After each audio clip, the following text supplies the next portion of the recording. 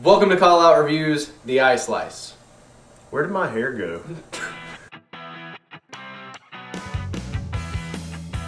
I don't like that one because my arm was like here. Which is I couldn't do this one.